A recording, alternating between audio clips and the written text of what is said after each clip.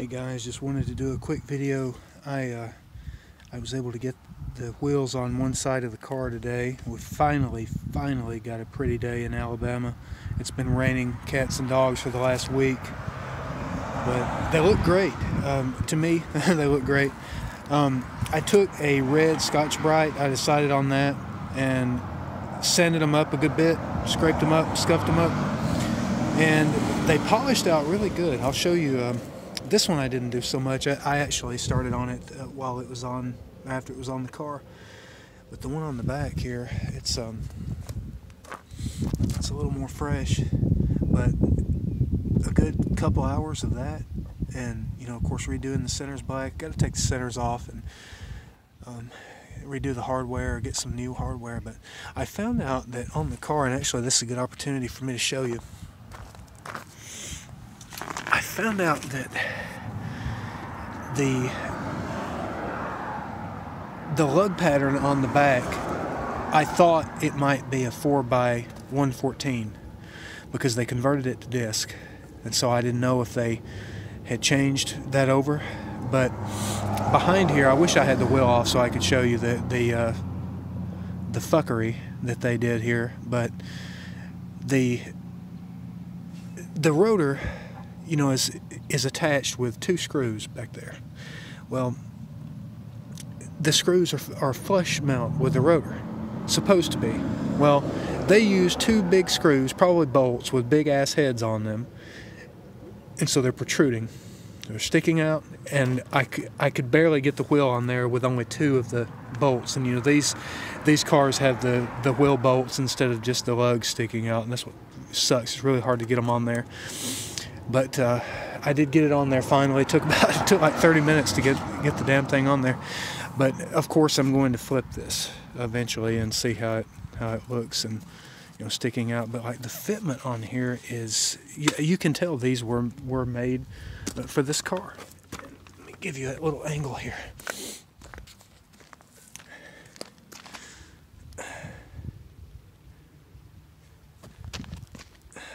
So you can see like you know, they fit fairly flush with the fenders, especially when it's dropped. You know, that's going to look really good. I want to show you underneath the car too while I'm at it. Let's get down here on my belly. All right. So that's the Dodge rear end uh, that they put on there. And you can see I'm going to have to really get rid of this rusty exhaust. It's so awful. Uh, it sounded good though when I had it. Uh, I don't remember the name of the of the struts that I've got back there, but the uh, and I, and I don't really remember the name of the lowering springs either. Man, it's been a long time. I thought about clipping those. You know, I know all about the safety and you know bouncing up and down radically, but you know the car doesn't weigh much, so I might just for just for aesthetic purposes, you know, might clip them, see what it looks like. I don't do the heating thing. You know, when you heat them, they, they just get lower and lower until the car uh, is just sitting on the ground. We had an MR2 like that one time. We bought it that way. It was awful. Went to go get taxes done, and uh, the car, we came back out and it was sitting on the ground. But, but yeah, these cleaned up well, guys. Like I'm, I'm very, very excited. And the, uh, the backside uh, lips too, like they, they cleaned it really good. So I'm gonna go in and put some of my PB Blaster on the on the hardware and see how that see how that does. And maybe I can get get a difference made in these because as you can see on the other side God I mean, they, these are so so pathetic that tire has had it but yeah, this is a better shot of the damage. It was done by the lawnmower man or whatever. And um, if any of you guys know where I can get any one of these pieces here, it will be much appreciated because the whole car is going to be redone. And just for reference, this is my Jaguar. It's a 97 XK8. I had waxed it, but man, that rain is just it just took its toll. I'm going to get my carport out here soon and try to uh, try to get these things under cover. These damn lights on here, like they they fog up so bad. I, have had to use some of the moisture absorbers in there. I did modify them though. I put I put a set of custom high beams in there because they were the other ones were rusted and ugly.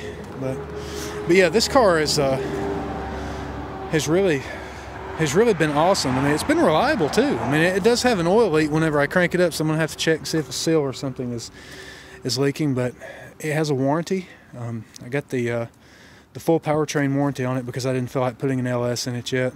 So if the engine goes, I can do another Jag motor and put my money in this car because that's what it's all about, right? Got to fix up the projects. So, but yeah, folks, till the next time. Um, probably have a weird looking uh, set of rear wheels on there with them turned around. So stay tuned. See ya.